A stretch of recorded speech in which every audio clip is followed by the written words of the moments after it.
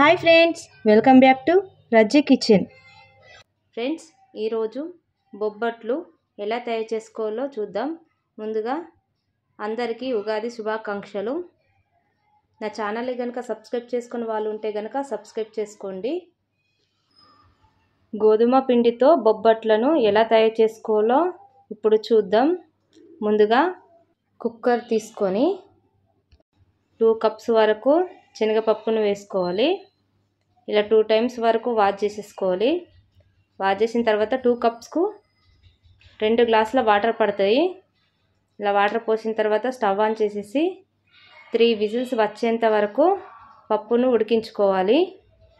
ఇలా పప్పు ఉడికిన తర్వాత విజిల్ తీసేసి పప్పు అన్నది ఫిఫ్టీ పర్సెంట్ వరకు ఉడకాలి.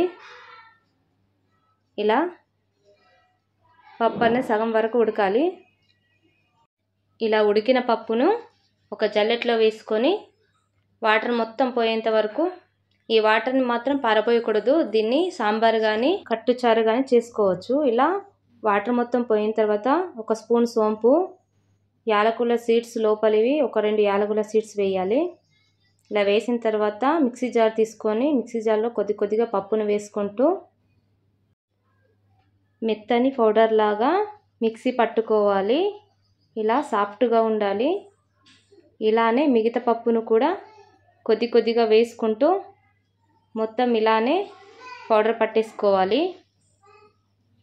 ఇలా పౌడర్ పట్టిన తర్వాత రెండు కప్పుల శనగపప్పు అంటే ఫైవ్ హండ్రెడ్ గ్రామ్స్ అండి. ఫైవ్ హండ్రెడ్ గ్రామ్స్ శనగపప్పుకు ఫోర్ హండ్రెడ్ గ్రామ్స్ బెల్లం పడుతుంది. ఈ ఫోర్ హండ్రెడ్ గ్రామ్స్ బెల్లాన్ని తీసుకొని ఇలా సన్నగా తురుముకోవాలి.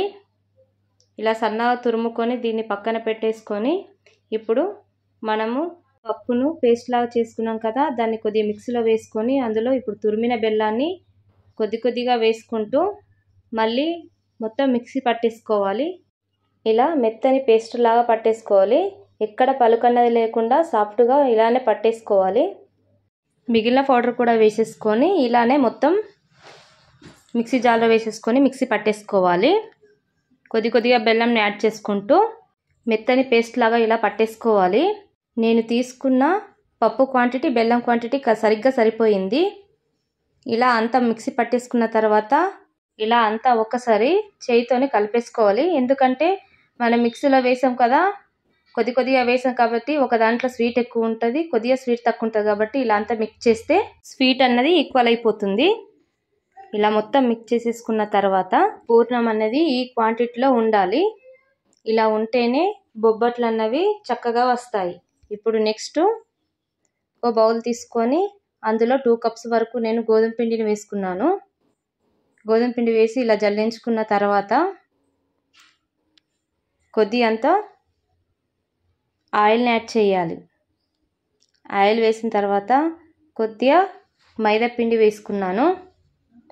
ఇలా మైదా పిండి వేసిన తర్వాత కొద్దిగా సాల్టు ఇలా అంతా ఒకసారి మిక్స్ చేసేసుకొని కొద్ది కొద్దిగా వాటర్ వేసుకుంటూ పిండినంతా కలుపుకోవాలి. ఇలా పిండిని మొత్తం చపాతీ పిండిలాగా ఇలా కలిపేసుకోవాలి. పైనుంచి కొద్దిగా ఆయిల్ యాడ్ చేసేసి ఇలా నేను చూపించే విధంగా ఇలా అంతా ఒకసారి మళ్ళీ పిండిని ప్రెస్ చేసుకుంటూ అంతా ఒకసారి చపాతీ పిండిలాగా ఇలా సాఫ్ట్గా కలుపుకోవాలి. ఇలా పిండి కలిపిన తర్వాత హాఫ్ అన్ అవర్ పక్కన పెట్టేసి హాఫ్ అన్ అవర్ తర్వాత పిండిని ఇలా కొద్దిగా కొద్దిగా నిమ్మకాయ సైజ్ అంతా తీసుకోవాలి. ఇలా రౌండ్ బాల్స్ లాగా చేసిన తర్వాత కొద్దిగా ఆయిల్ అప్లై చేసి ఇలా చిన్న గిన్నెలాగా చేసుకోవాలి. మనం పిండి ఎంత తీసుకున్నామో అదే క్వాంటిటీతో పూర్ణాన్ని కూడా తీసుకొని ఇలా మధ్యలో పెట్టి పూర్ణం అన్నది పిండి నుంచి ఎక్కడికి బయటకు రాకుండా ఇలా స్లోగా మొత్తం ఇలా పిండినంతా పూర్ణం బయటకు రాకుండా ఇలా క్లోజ్ చేసేసేయాలి. ఇలా చేసిన తర్వాత మీ దగ్గర రైస్ ఫ్లోర్ ఉంటే గనక రైస్ ఫ్లోర్లో ఇలా డిప్ చేసుకుంటూ కొద్ది కొద్దిగా పైనుంచి చల్లుకుంటూ చపాతీ పీట మీద చపాతీలాగా ఈవెన్గా చేసేసుకోవాలి. ఇలా నేను హ్యాండ్ చూపించే విధంగా పై పైనే బొబ్బట్ అన్నది ఇలా రోల్ చేసేసుకోవాలి. మరీ మందంగా కాకుండా మరీ సన్నగా కాకుండా మీడియంగా చేసుకోవాలి. ఇలా చేసిన తర్వాత పైన ఏమైనా పిండి ఉంటే కనుక హ్యాండ్స్తో ఇలా అంతా తీసేసేసి ఒక ప్లేట్లో వేసి పక్కన పెట్టేసుకున్న తర్వాత మిగిలిన పిండిని కూడా ఇలానే పూర్ణం పెట్టేసి పూర్ణం అన్నది బయటకు రాకుండా ఇలా క్లోజ్ చేసేసుకొని బియ్య పిండిలో ఇలా డిప్ చేసేసుకొని ఈవెన్గా చపాతీలాగా చేసేసుకోవాలి. ఇలా అన్నింటినీ సేమ్ ఇదే ప్రాసెస్లో చేసేసుకోవాలి. ఇలా చేసిన తర్వాత ఈ బొబ్బట్లను పక్కన పెట్టేసి ఇప్పుడు స్టవ్ ఆన్ చేసేసుకొని పెనం పెట్టేసుకొని పెనం అన్నది హై హీట్లో ఉండాలి. ఇలా హీట్ అయిన తర్వాత ఒక్కొక్కటి బొబ్బట్టుని ఇలా వేసుకుంటూ ఇలా కాల్చుకోవాలి. ఇలా కాలిన తర్వాత పైనుంచి కొద్దిగా నెయ్యిని వేసుకుంటూ కాలాలి. ఇలా కాలిన తర్వాత ఇంకో సైడు టర్న్ చేసుకుంటూ దీనిపైన కూడా కొద్దిగా నెయ్యిని కూడా వేసుకుంటూ ఈవెన్గా మొత్తం స్ప్రెడ్ చేసేసి బొబ్బట్టు అన్నది చక్కగా కాలాలి. ఇలా బొబ్బట్టు అన్నది చక్కగా కాలితేనే మనకు పిండి పిండిగా రాదు. ఇలా అన్నింటినీ ఇలానే సేమ్ ఈవెన్ ప్రాసెస్లో అన్ని బొబ్బట్లను ఇలానే కాల్చుకోవాలి. టూ సెకండ్స్కి ఒకసారి టర్న్ చేసుకుంటూ బొబ్బట్లు అన్నవి ఇలానే కాల్చుకోవాలి. ఇలా పైన నెయ్యి అప్లై చేయడం వల్ల బొబ్బట్లు అన్నవి చక్కగా పొంగుతాయి. బొబ్బట్లకు నెయ్యి ఎంత వేస్తే బొబ్బట్లు అన్నవి అంత టేస్ట్గా వస్తాయి. ఇలానే మిగతావన్నీ ఇలానే చేసేసుకోవాలి. ఇలా అన్ని బొబ్బట్లు చేసిన తర్వాత ఈ బొబ్బట్లను పక్కన పెట్టేసి ఈ బొబ్బట్ల కాంబినేషన్కి బెల్లం పానకము ఎలా తయారు చేయాలో ఇప్పుడు చూడండి. ఇలా వాటర్లో బెల్లం వేసేసుకొని బెల్లం మొత్తం కరిగేంత వరకు ఇలా కలిపేసుకోవాలి. నార్మల్ వాటర్లోని బెల్లంని మొత్తం ఇలా కరిగించుకొని ఫిల్టర్ చేసేసి ఇందులో కొద్దిగా పాలు యాడ్ చేసుకోవాలి. పాలు వేసిన తర్వాత కొద్దిగా యాలకుల పొడి కొద్దిగా నెయ్యి. అంతేనండి. ఉగాది స్పెషల్ వేడి వేడి బొబ్బట్లు రెడీ. దీనికి కాంబినేషను బెల్లం పానకం రెడీ.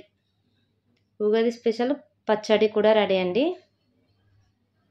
ఈ వీడియో కనుక మీకు నచ్చినట్లయితే లైక్ చేయండి షేర్ చేయండి సబ్స్క్రైబ్ చేసుకోండి. పక్కనున్న బెల్ ఐకాన్ని కూడా ప్రెస్ చేయండి.